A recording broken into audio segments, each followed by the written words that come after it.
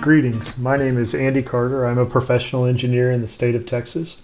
In this tutorial, we're going to look at harvesting and compositing terrain data from Texas Natural Resource Information Service to create a seamless DEM. The state of Texas currently has all of the terrain data shown within the green limits. By 2021, it is anticipated that contiguous coverage across the entire state will be available at a resolution of 1 meter. For this tutorial, I'm going to show you how I downloaded and composited 53 square miles of 1 meter terrain data for an area of the Walnut Creek watershed, which is just on the northeast side of the city of Austin. In this area, the state of Texas provides the data in quarter quadrangles, which is shown on the left. 10 cover the subject watershed. The terrain data is actually served in quarter, quarter, quarter quadrangles, which is shown on the right, and there are approximately 79 that cover the subject basin.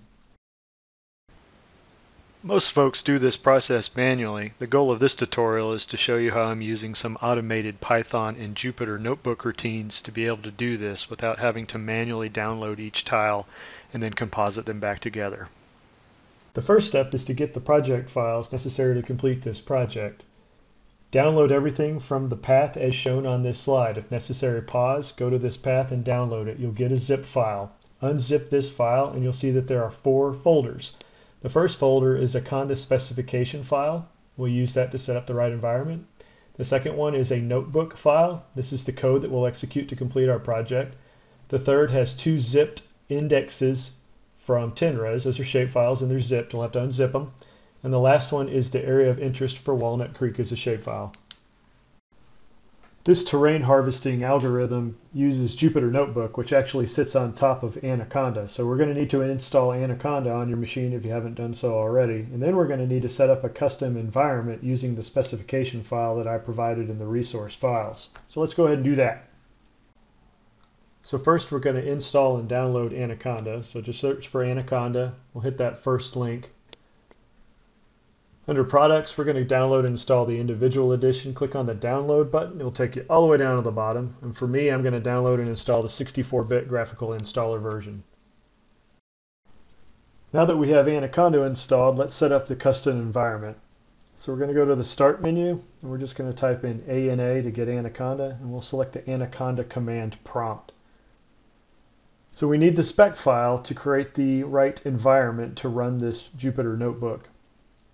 So I'm going to the directory where Anaconda's root network is, in my machine, that's c slash user slash uh, vn34gz1.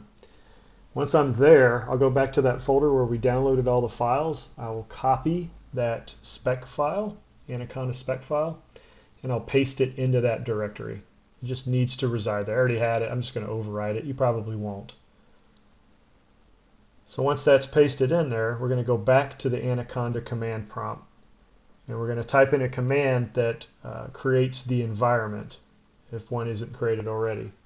And that command is going to be conda space create space dash dash name space harvest. That's the environment we're going to create. That's the name of it. Dash dash file space terrain harvest underscore spec list.txt. That's the file that we put in that directory. And then we'll hit enter. If you've already got one, say yes. You probably won't. So um, what will happen is the internet will kick off and it will download all the necessary libraries to run this routine. Now that we have that conda environment created, we'll need to activate it. Type in on the command to command prompt conda activate space and then the name of the environment, harvest in this case, and hit enter. You'll notice on the left it now says harvest instead of base. Go back to that folder, copy that O2 Jupyter Notebook folder, and we're going to put that into the same directory where Conda is um, setting its default path. In my case, it's C colon backslash user backslash FN34, etc. I'm going to copy that O2 Jupyter Notebook folder. I'm going to paste it right in that folder itself. Once that's finished, we'll go back to the Anaconda command prompt and we will type in Jupyter, which is spelled J-U-P-Y-T-E-R space notebook and hit enter. That'll kick off Internet Explorer with Jupyter Notebook. We're going to drag that over and take a look at what we've got. we'll go to that folder that we copied over, that O2 Jupyter Notebook. We'll click on the first item, and that is the Jupyter Notebook that you will need to run to get the terrain aggregation to work. Before we run this notebook, there are three input shapefiles that need to be appropriately assigned inside of the notebook prior to execution. Additionally, we need to clean up and make sure that the output paths are correctly assigned for our machine.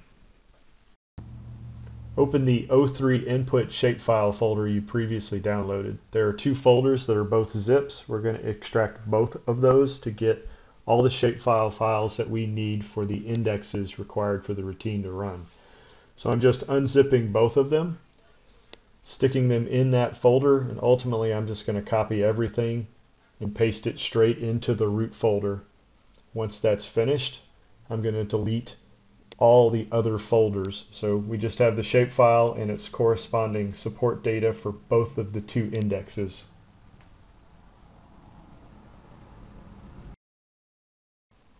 In the notebook, scroll down to section 2, which is input data. We're going to change the path to the three input shapefiles. So I'm copying the directory where I've got those indexes and I'm just copy pasting and overwriting that directory for the QQ index and the LiDAR index. For the requested boundary, go to O4, which is the input shapefile, copy that directory. And we're just going to completely overwrite the uh, path to the requested boundary, put a slash, and then copy paste the name of the shapefile and paste it into the end of that file. Now we need to set up an output directory. I'm just going to right click and say new folder. I'm going to call it O5 underscore output. Once I have that file, I'm going to click on it. Just going to copy the path. Under that 2.0 input data, I'm just going to copy paste that uh, new directory and overwrite. Do it once, twice, and then under the actual file name, I'm going to change that into DEM merge, and we'll just call it walnut and DEM clip walnut. Those are going to be the composited TIFFs. With everything set up, our final step is to execute the Jupyter Notebook and confirm output. So let's just maximize Jupyter Notebook.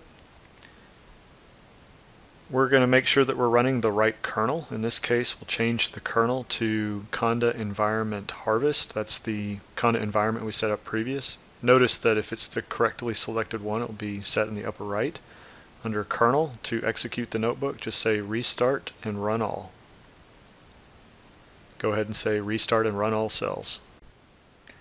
Given the size of the request, this is likely to take several minutes. You'll notice that there's a number next to each code block. If it's got a number, that means it's executed. If it has a star, that means that it has yet not executed. So this is currently executing now. Um, some of the routines will take longer than others to execute. It just depends upon the request that's made.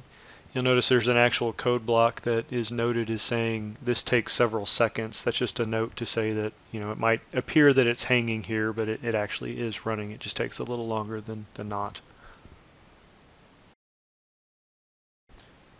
With my internet connection, it took about 10 minutes to run this routine over the 53 square miles. You can see what the routine's doing. It's intersecting and figuring out the quarter quads and the quarter quarter quarter quadrangles that it needs to make the request. Um, ultimately, it builds a URL list, and in this case, it's uh, looking to download 10 tiles, and it will give you output as it's downloading. Um, and then ultimately, it, it brings all those DEM tiles together, merges them into one, clips it, and then exports what you need. I'm using QGIS to check the data. I brought in the area of interest, boundary of the watershed, and OpenStreetMaps to make sure I'm in the right spot. We're going to add the raster that we created for the composite DEM. This will be the uh, clip walnut TIFF. It's about 1.2 uh, gigs in size. And we'll go ahead and just add it on in there. It appears to come in, in the right space, so that's good. Notice that the vertical data is in meters, and you'll need to pay attention to that. Um, also, the horizontal units are in Universal Transmercator Zone 14 for this data and you need to keep track as to what that is. That is the source data, and that's why it's in that projection. There's a little bit of housekeeping that we need to do under that output folder. Let's take a look and see what we've got. We've got the walnut clip and the walnut merge. We want to delete everything except the, the clip boundary, so we'll try to delete that walnut merge and it won't let us do it. So what's happening is um, Jupyter is actually holding on to that file. It's locking it. So under kernel, we'll say um, reset and clear all, and that will release all the files that Jupyter was looking at. So now we can pick that DEM merge walnut, we can select it and delete it, and then all of those are the tiles that are downloaded, the quarter, quarter, quarter quads. We're going to delete those as well. So we've successfully pulled down the terrain for the entire watershed. So what are the steps from here? Well, you could use your own shapefile and get your own boundary for terrain data uh, within the footprint of the state of Texas. Just check to see if TNRIS has got it, and if it does, you should be able to pull it down with the same routine. This terrain data could be used in HEC-RAS for floodplain analysis. You could use it in HEC-HMS and do a watershed delineation um, based upon the new algorithms that are in HMS. You could bring it into Civil 3D and create contours and, and build surfaces from that. So there's a lot of uses to having one composited aggregate DEM terrain data set. This concludes my presentation of showing you how to use these routines to get composite terrain data from the Texas Natural Resource Information Service. If you want additional information, uh, check the link in this slide and this is written up in kind of more of a step-by-step -step guide that can use as a desk reference.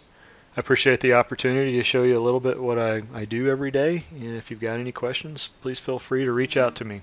I appreciate it.